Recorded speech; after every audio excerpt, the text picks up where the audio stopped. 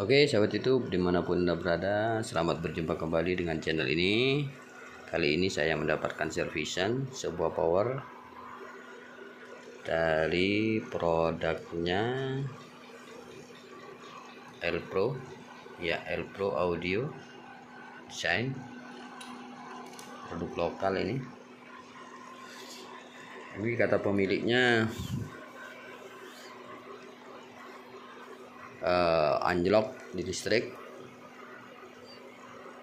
Kemudian mati yang sebelah sini. Mati. Setelah kita cek yang sebelah sana enggak.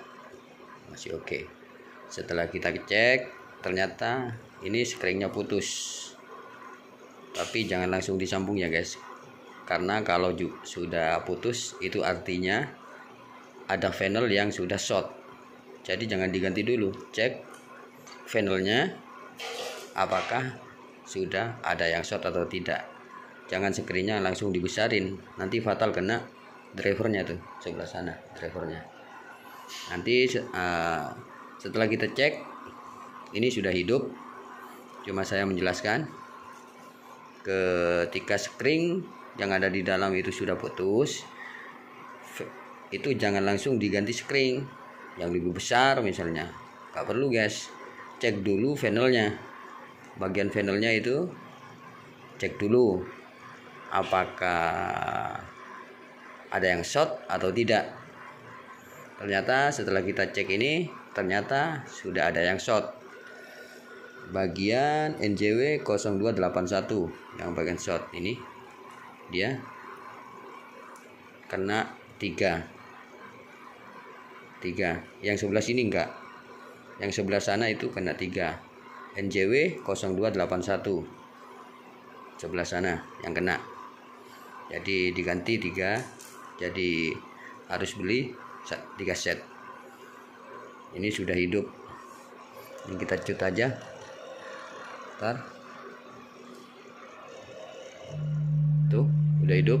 Belum kita kasih musik ini masih dites untuk kestabilan uh, drivernya. Oh ya guys ini adalah kelas H. Dan ini adalah bagian stepernya. Ini tegangan rendahnya ini tegangan tingginya. Ini kelas H.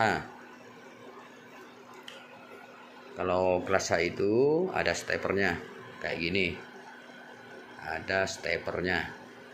Jadi untuk video ini uh, saya cuma ingin menjelaskan karena sudah mulai dari tadi kita otak hati ternyata ini screennya putus. Tapi jangan langsung diganti screen itu artinya fatal sudah ada yang short. Sebelah 02 nya atau yang sebelah sini? Cek. Yang sini tadi enggak enggak putus. Yang ini putus. Jadi sebelah sana yang short. Ternyata dicek benar ada yang short. Jangan langsung diganti screennya nanti kena drivernya. Oke? Okay?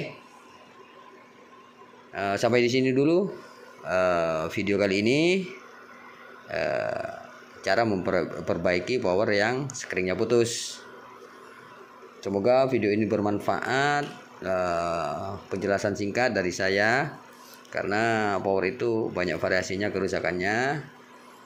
Adalah adalah yang segi panel yang bukan ori jadi cepat jebol bisa.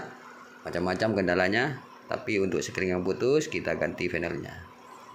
Oke terima kasih. Semoga video ini bermanfaat. Terus dukung channel ini agar kami semakin semangat untuk memberikan share-share soal pengalaman yang kita tahu. Terima kasih